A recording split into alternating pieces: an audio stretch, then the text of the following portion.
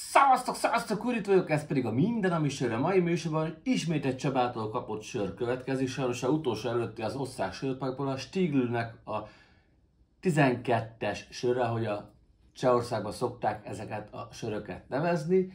Így néz ki maga a doboza a sörnek.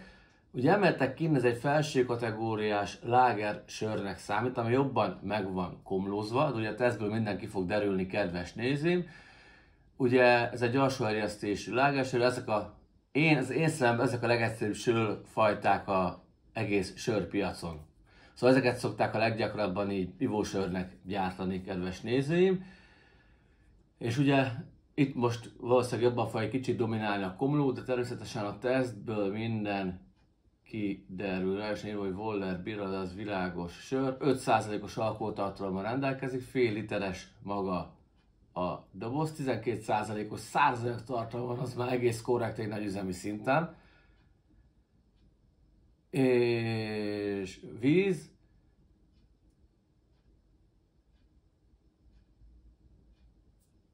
árpamaláta és komló se több, se kevesebb kedves nézim a sörök összetétel. Ugye ez a sör Salzburgban készül, ott is Stiglő üzemben. Fogyasztása 5-6 fok körül érdemes, és korsóból, vagy lágeres pohárból, kinek mi tetszik, hogyan tetszik, kedves nézőm, jöhet a nyitás.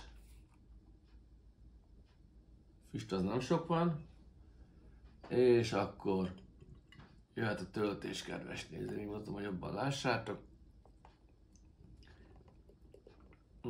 Nagyon kíváncsi vagyok, hogy ez milyen lesz. Ú, szépen felhabzott szerencsére. Körülbelül négy únyi fehér habja van, kellemes ilyen, kicsit aranysárgába hajló színe van, kellően szélsavasnak is tűnik maga a sör, illatra pedig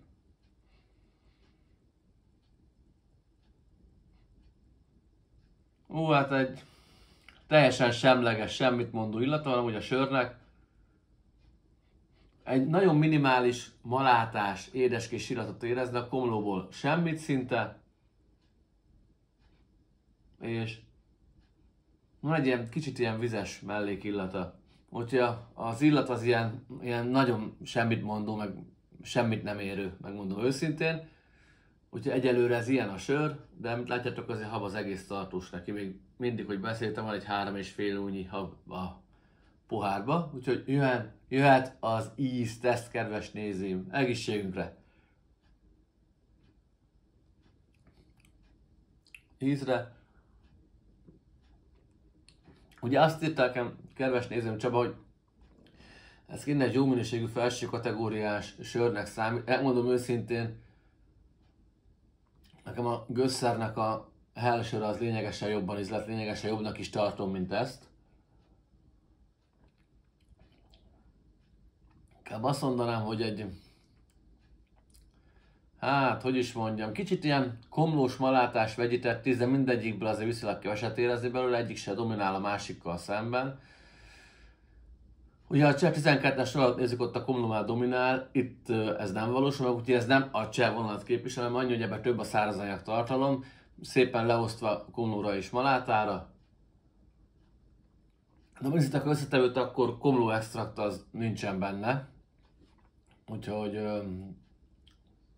hát, megmondom őszintén, ez most kicsit nehéz. Próbálom mind, minél több mindent ki tudjak belőle de lehetetlen küldetésre vállalkoztam ezzel a sörrel kapcsolatban ilyen tekintetben. Közben kitöltöttem nektek a maradékot, kedves nézőim.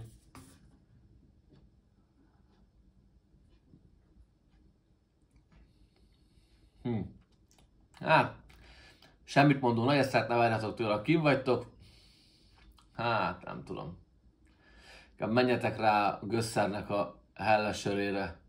Lényegesen jobb játok, alkoholtartalma is kevesebb, és lényegesen üdítőbb, zamatosabb, finomabb sör, mint ez a Stiglő nevezetű Goldbrau sör, kedves nézőm. Úgyhogy ez most egy ilyen, egy ilyen nem mondanám vizes, mert nem vizes, hanem ilyen semmit mondó ízű. Se a komlót nem érezni intenzíven, se a malátát, mind a kettőből kapsz egy kicsit belőle. A szénsavasság az jó, a szín az jó, a hab az jó, ezek úgy nagyon nincsen gond, de ez most nem. Kedves nézém, ez most, ö, megmondom őszintén, ö, ilyen tekintetben nem adja magát.